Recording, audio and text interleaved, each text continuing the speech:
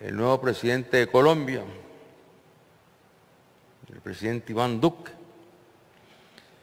recién tomó posesión, lo primero que hizo fue ir a visitar la isla de San Andrés.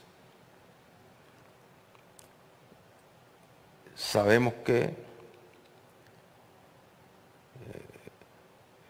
estamos en esta lucha eh, para que se pueda cerrar ya este capítulo después del fallo de la Corte. Ojalá que la participación muy activa que nos ha llamado la atención, muy activa del representante de Colombia en las reuniones allá en Washington, yo diría que después del representante norteamericano, el más activo es el colombiano. Cuidado. Cuidado está pensando.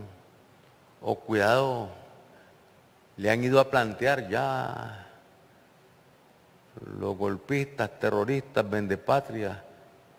Cuidado, le han ido a plantear ya a Colombia que les ayuden a salir de este gobierno y que ellos van a desconocer el fallo